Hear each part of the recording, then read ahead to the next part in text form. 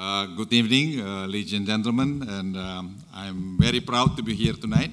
And it's, I think, a very hard job, especially the last speaker after uh, we are uh, about to sleep. And I think uh, Ibu Sri Mulyani really gave, you know, very clear message or explanation about Indonesia.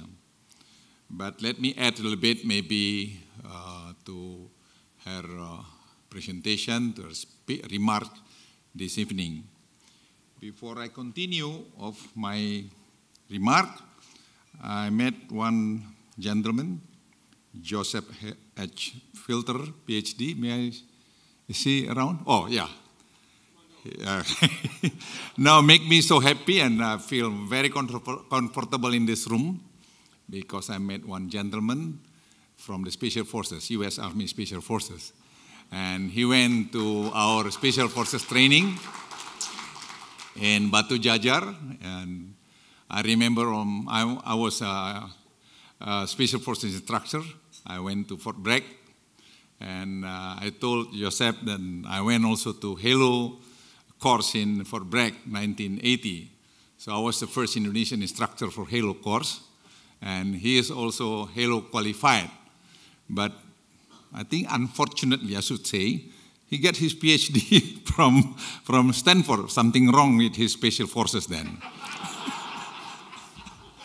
uh, uh, yeah, this is, I think, I really respect you because it, although you are special forces like me, but you still have a good brain, you know, like me. At least we can, you know, we can still exist in this kind of environment. But you are still in the state, uh, in the uh, Secretary Defense Office, which is, I think, still your own pet. But I'm suffering in my area today, you know, because I have to talk sometimes about economy, economy which is not my area. Uh, ladies and gentlemen, let me show you a little bit about picture of uh, map of Indonesia, which is, I think, very important to understand again, because I believe still some of us doesn't, my slide, about, doesn't aware about the size of Indonesia. This is Indonesia. I still remember when I went to uh, Tokyo, uh, February last year, uh, pay courtesy call to Prime Minister Abe, I was thinking what I should, you know, talk to him before uh, go to the main topic. And then I give him this one. And I brief Prime Minister Abe, I said, this is Merauke and this is Sabang. It's like eight hours flying time from Merauke to Sabang. While from Jakarta to Tokyo, only six hours, 45 minutes. And immediately said, hi, hi, hi, hi, you know. And yeah, this is serious because everybody thought Indonesia is a small country. And this is South China Sea, I mentioned to him, and this is Natuna. So we are basically, uh, you know, front line of, you know, if you're talking about China. This is dispute island, dispute area, and this is Indonesia, this is South China Sea, this is the potential of energy over there. And I told him also this is uh, Masela, your project. So if you invest here, invest here, invest Sabang, basically you control, control already the strategic line of sea line of uh, uh, South China Sea. And I told him, if I may advise Prime Minister, you should send your team to see the possibility to invest here, Sabang, and some areas. And immediately said hi, hi, and then one and a half months later, he sent his team to Indonesia. I think this is the importance of the understanding about Indonesia. Indonesia consists of 17,000 islands, depend on high tide, low tide. Yeah, this is very important. And more than 300 ethnic groups with 700 languages, local languages, and around 230 million Muslim population in Indonesia. Uh, building infrastructure connectivity is not only to serve economic purposes, but is also uniting our nation. If you don't have a good connectivity, sea, air, then how do you say Indonesia one country? So then equality is very important to Indonesia. If you don't have equality, there's going to be no more Indonesia in the near future. So being a military, I've been tour in this area. I've been, you know, when I was active, I went to here, I was parachuting here, I was here. So nearly everywhere I went. Two. So this is Indonesia. So you can feel the diversity of Indonesia. So they understand when President Joko Widodo said we have to look at Indonesia not only Jakarta uh, Java centric, but also Indonesia. So that's why now our, that's my understanding. Sorry, my background and an economic. 5.3% growth, I think, is a, a big achievement. Because if we focus only Java, Java, then forget it about this. I think we can go right like above 6% growth today. But the president doesn't want to do so. He wants to see also share prosperity to eastern part of Indonesia. So then bring down the, the economy to 5.3% instead of 6 or above 6% growth. But I believe after five years, yeah, after five years being a military, our strategic um, instructor in um, Staff College in Indonesia. I, Indonesia can go up to 6% by 2019. And I think after that, we can even faster go maybe to 7% by 2021. Then after that, if you're successful to see our infrastructure and also about the education, I can see Indonesia can move faster because the, I mean, Indonesia is a very rich country. Now let me move to the next slide. Uh, yeah, this is a thing. I remember this one. I specifically would like to mention the critical time for Indonesia. I was chief of staff back to early 2015. At the time, we had a very we have a very good discussion with the president, intensive discussion with the president, what we're going to do with the budget. You know. So this is, I think, the problem of the subsidy. The subsidy at the time around 300 trillion rupiah. Then we don't have enough budget to go to the, to the infrastructure project. And then we discussed at the time, again, being in the military, I advised Joseph to the president. I said, Mr. President, if you move the subsidy to the infrastructure project, maybe your popularity like six months or so gonna be down like this. But then we can move this one. But after six months, when the people uh, saying that, you know, that the infrastructure already in place, then your popularity going up. So now it's up to you. So advantages, disadvantages, or option, like a military operation, I present to him, and he said, you know, he said, okay, I'll take this hard decision. I don't care about my popularity, popularity, but I care how to serve our country. That's what the decision been made. This is, I think, the first uh, quarter 2015, while our economy moving uh, went down like this. But then after six months, uh, third, third quarter 2015, you can see here that I think the beginning of our economy moving up. So since then, the economy is still steady, the, uh, around above six, uh, 5% growth. Uh, if you look at also the G20 and the BRICS, the Indonesia effort the last 10 years, basically 5.7%, but rely very much on commodity base. Today, we don't want to be a commodity base anymore. We like to see yeah, industrial base. So that's why with the new uh, mining law 2009, we don't allow anymore to export raw material. We see, we push, we force more and more industry uh, building in Indonesia because we like to see also our export increase uh, very much. Next slide. Next slide. Yeah, this is, I think, investment grade. You understand this one? Next slide. Next slide. Well, this is, I think, very important. I was in China last week, and um, President asked me as a special envoy to China to negotiate about, um, uh, not to negotiate, to discuss about, uh, you know, the One Belt, One Road and Global Maritime Fulcrum. So we propose uh, four projects over there uh, in, in Beijing. Uh, one is um, Sumatra, uh, North Sumatra, North Kalimantan, uh, Bitung, and uh, Bali. And I told the leader over there, I think environmental sustainability is very important for us. We don't want to negotiate about this one. We don't want to see second class technology you export to Indonesia. I told them loud and clear, even to Prime Minister Lee, I said very clear with the humble uh, tone. Of course, he's a boss, you know, I'm the, just a minister, you know. So I, I, make it clear to him. We don't want to see this, uh, Prime Minister, I said, because right now with the social media, they can criticize us easily about this issue. And number two, you have to use local labor force. That's one the issue about the quality of education in Indonesia. We are not trying to blame the past. But what we're doing today, we have to solve the problem. Before, we never give much uh, enough attention to improve the quality of vocational training, especially outside of Java.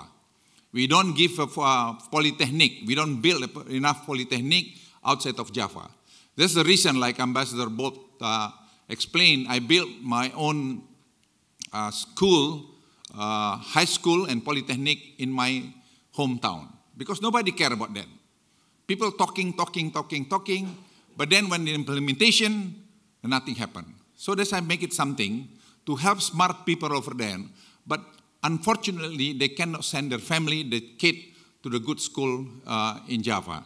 So that's I think a mistake. But then we cannot talk about the mistake only. Now, how do we solve? How do we mitigate this issue? Then value-added uh, industry. This is I think very important and the transfer of technology. We don't want to be just the market of the high technology. We want to be uh, see Indonesia in the near future to export also high technology for Indonesia. Leapfrog, I think, is very important for Indonesia in this particular issue. Next slide. Well, this is, I think, presidential decree facilitate, uh, facilitate investment. I think you are already aware. This is uh, regulation, annual, etc. Next slide. Uh, this is also average uh, license time in Indonesia. Used to be 900 days, right now only 254. Uh, when uh, Minister of uh, Energy reported to the President, and with the, uh, you know, very exciting, and he said, Mr. President, we are really successful to, you know, reduce this time to this. And the President said, well, no, he didn't say thank you, but I, can you do it lower than 254 days? Can you go down to 100 days or 200 days? Then you report to me after you did it. So this is, I think, spirit today. We like to make it easier to invest in Indonesia. Not only talking, but implement this one, like uh, Sri Mulyani said, because he experienced by himself as a, as a middle class uh, uh, entrepreneur at the time how difficult to deal with the government in Indonesia. Next slide. Uh, this is, I think, ranked by Ibu Sri Mulyani. Next slide. Well, this is a thing that I explained to you, the 2015, the infrastructure project, immediately from uh, this level to 100, uh, at, uh, from the 150 trillion rupiah up to 256, and right today is 409 trillion rupiah. So you see everywhere you go in Indonesia, you can see under construction of infrastructure. You go to the border of Indonesia with Kalimantan, uh, Kalimantan with uh, Malaysia, you can see the 1500 uh, kilometer uh, road. This is, I think, it's very, very important.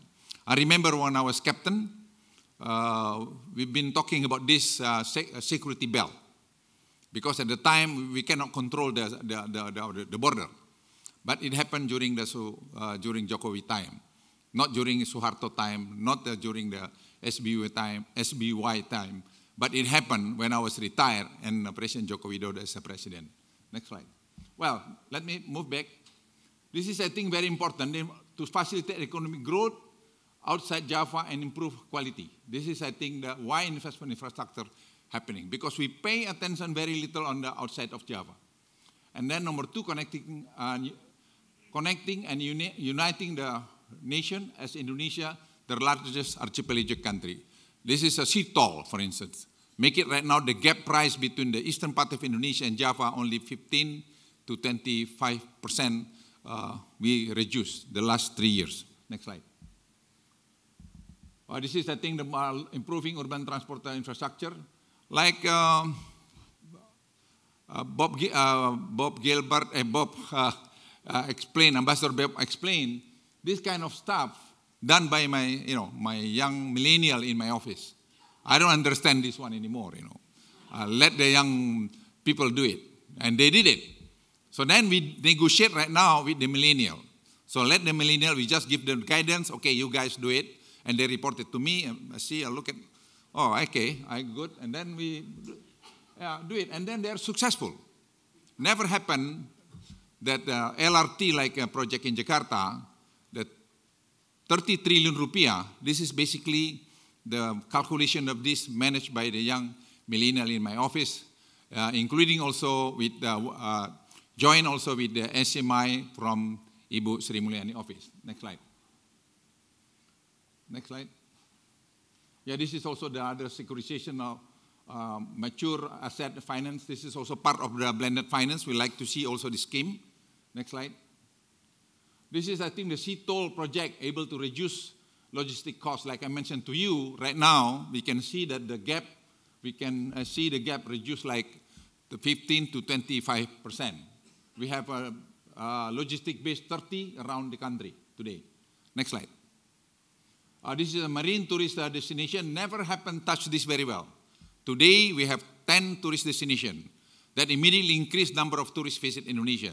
This is a good area for you also to invest in Indonesia today. Next slide.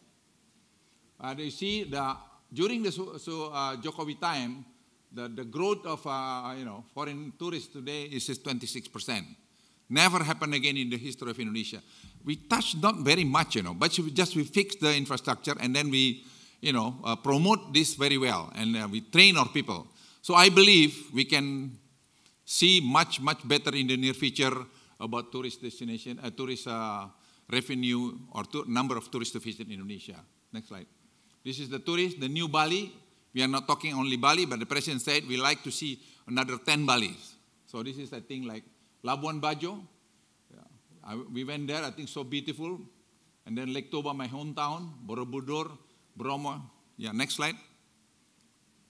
Oh, this is, I think, uh, we are concerned about uh, technology, like I mentioned today. I went to to China. They are talking about 5G, not uh, produced by America anymore, already uh, by China, and like to see also something like this. So we established cooperation between Tsinghua University and Indonesia. They have already agreed to open their hub in Bali. So then we can see cooperation between uh, Tsinghua, with ITB, and with uh, Udayana University. Next slide. Next slide. Yes. Our, why invest in Indonesia? Then we try some data. Look at China, Indonesia. Why not we go to China, India, or Indonesia? But if you look at GDP capita, I think Indonesia still okay. You know. It's good lah. Compared to India or, yeah, is better. China is okay lah. Government debt to GDP, Indonesia is better. Um, Sri Mulyani said 29% of, of our GDP yeah, let's say 30%, but still better than these two countries. But in Jakarta or Indonesia, they still fight us, you know, they're hammering Sri Mulyani and our uh, president say, ah, your debt is so much, you know, you no leap, etc. Said, whatever, I don't care, you know. I care that our economy moving very well, you know, because this is the data. Yeah, this is the data, this is a fact. Household debt to GDP also, if you look at this one, Indonesia performance is very well easy doing of business also like uh, Ibu Sri Mulyani mentioned from 120 within three years time we go down we went down to 72 and you look at also the population below 55 percent uh, 50 years old this is uh, 85 percent 84 percent Indonesia. So this is data. We are talking based on data. We you know uh, brief this to the public but sometimes maybe we are too shy to you know to promote this one. But today no, it's about time for us to explain to the people the progress been made by the government of Joko Widodo. Next slide. This is, I think, Golub. Uh, we are, uh, uh, I think, number one. This is uh, with uh, Switzerland. Next slide. Yeah. This is, uh, I think, about politics. Now, I'm the last part of my remark is about politics. I think some people may be concerned about what happened next year, April, because next year, April is, the, April is a presidential election. Yes, from the data that we have today, I don't see any problem to Joko Widodo. I don't see much problem. Uh, most likely only two candidates. most likely only two candidates. Because if you look at also when we entered the government, we took over, uh, Jokowi took over office, uh, our coalition in parliament only 37%, but the opposition 63%. But today the other way around. Today the 70% is uh, on the Joko Widodo or the government side. So if you look at the performance of Joko Widodo compared to uh, you know, some other uh, leaders in Indonesia, I think he proved it that he yeah, performs very well. The issue right now is uh, Facebook, social media, I mean, what I'm saying. The social media, I think, can twist many issues. I think uh, we discussed also last night with the Minister Rudy, how do we handle this one? But America also experienced maybe with, uh, you know, um, uh, Cambridge uh, Analytica, I don't know whether it's true or not, uh, Bob, I don't know. But this is, I think, also impact American election last year. So we are, we are very careful to look at this one. But from the perspective of um, politics, I don't see that going to happen like uh, last year uh, governor election, uh, Jakarta governor election. I don't see that could happen something like that. Talking about the religion, Joko Widodo is a good Muslim. Uh, talking about what? Economy, I don't see this uh, become a big issue on this one because we have a quite, data, uh, quite good data and also uh, we prove it to the ground that they are successful of this. In terms of efficiency, Indonesia right now more, much better efficient than before. So if you want to invest in Indonesia, it's about time to invest. Don't say wait and see. Wait and see, you're going to lose the momentum of this. So I am strongly encourage you to invest in Indonesia and don't hesitate uh, Sri Mulyani as a, a good minister, Pak Rudy also good minister, and OJK, Pak Wimboh also is very good, uh, you know, the control of the uh, manage of the banks in Indonesia and back up by the military background like me, you know. So don't worry, we can manage Indonesia very well and um, you can see Indonesia moving very well. I don't see much problem. We are facing a lot of problem, but manageable problem. And please do come to Indonesia, invest in Indonesia. It's about time also to end of my speech. Thank you very much.